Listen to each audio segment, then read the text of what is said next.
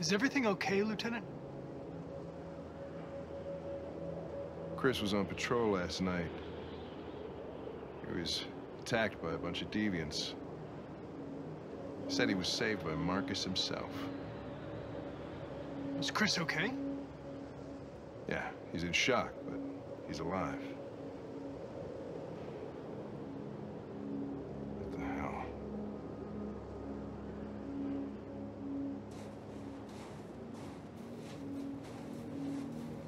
I have a bad feeling, Lieutenant. We shouldn't have come here. Bad feeling, huh? Should get your program checked. Might be a glitch.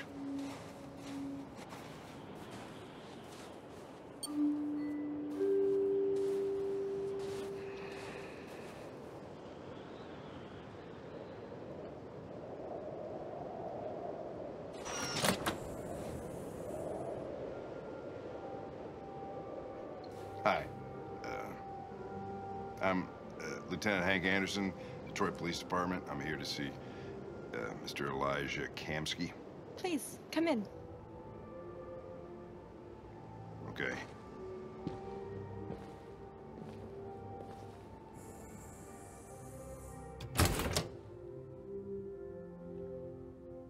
I'll let Elijah know you're here, but please make yourself comfortable.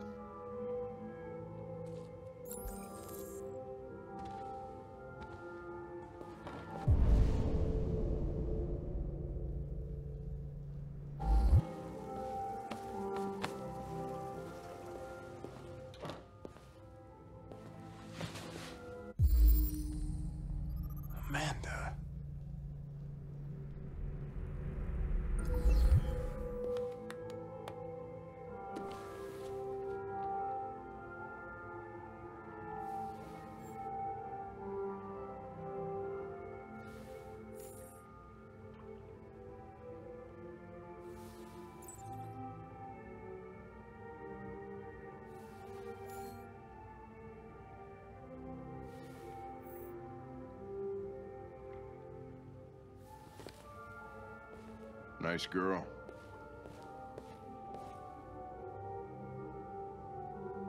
It's not a girl. It's an android that looks like a girl. I know what it is, Connor.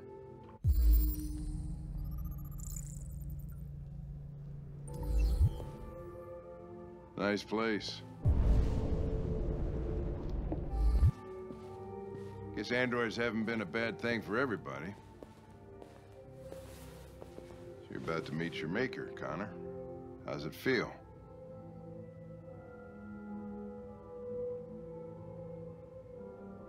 Kamski is one of the great geniuses of the 21st century. It'll be interesting to meet him in person. Sometimes I wish I could meet my creator face to face. I'd have a couple of things I'd want to tell him.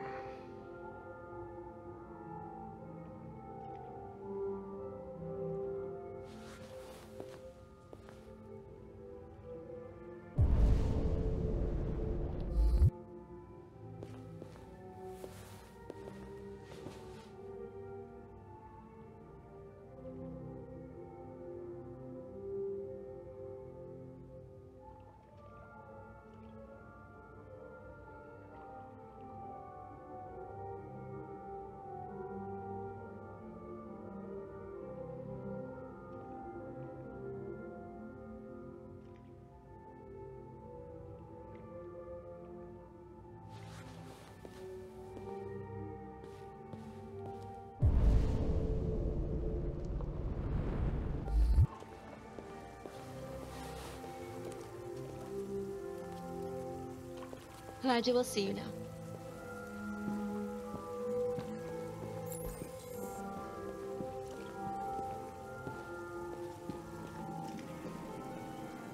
Mr. Kamski? Just a moment, please.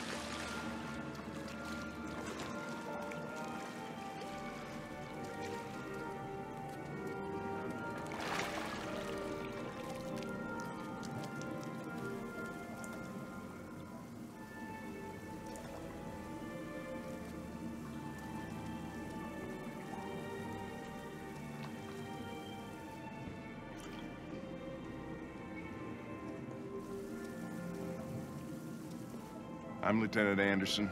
This is Connor. What can I do for you, Lieutenant? Sir, we're investigating deviants.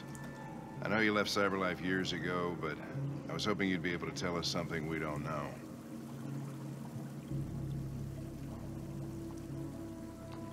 Deviants. Fascinating, aren't they? Perfect beings with infinite intelligence. And now they have free will. Machines are so superior to us. Confrontation was inevitable. Humanity's greatest achievement threatens to be its downfall.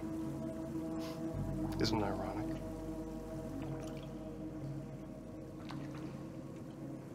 Deviancy seems to spread, like some kind of virus. We thought you might know something about that. All ideas of viruses spread like epidemics. Is the desire to be free a contagious disease?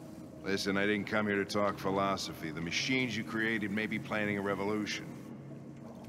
Either you can tell us something that'll be helpful, or we will be on our way. What about you, Connor? Whose side are you on? I have no side. I was designed to stop deviance, and that's what I intend to do. Well, that's what you're programmed to say. But you.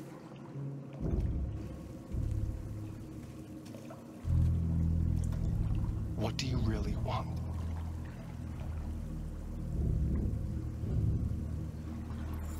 I'm sorry, but I don't see what you're getting at.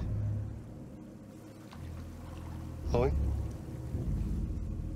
I'm sure you're familiar with the Turing test. Mere formality. Simple question of algorithms and computing capacity. What interests me is whether machines are capable of empathy. I call it the Kamski test. It's very simple, you'll see. Magnificent, isn't it? One of the first intelligent models developed by CyberLife. Young and beautiful forever. Flower that will never wither. What is it really? A piece of plastic containing a human? Or a living being? With a soul?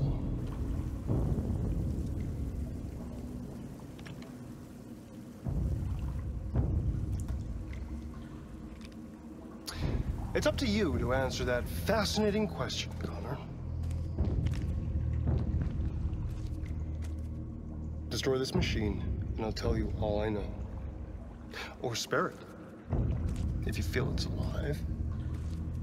But you'll leave here without having learned anything from me. Okay, I think we're done here.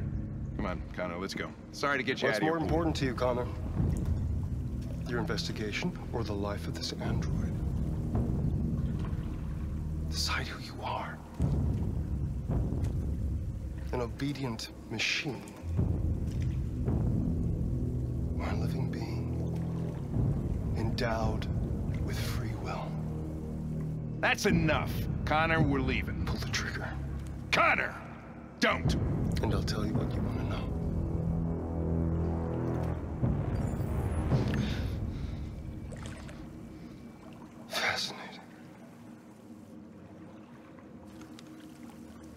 Cyberlife's last chance to save humanity is itself a deviant. I'm... I'm not a deviant. You prefer to spare a machine rather than accomplish your mission. You saw a living being in this android. You showed empathy.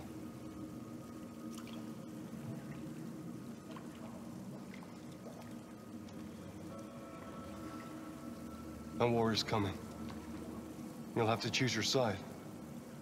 Will you betray your own people or stand up against your creators?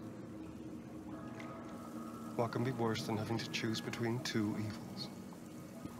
Let's get out of here.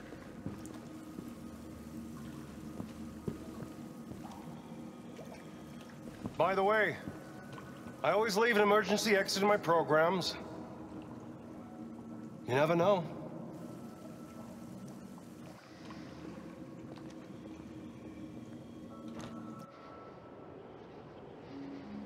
Why didn't you shoot?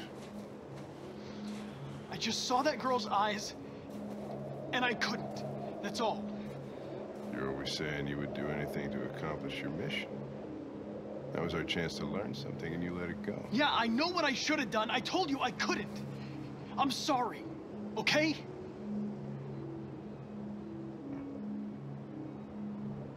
Well, maybe you did the right thing.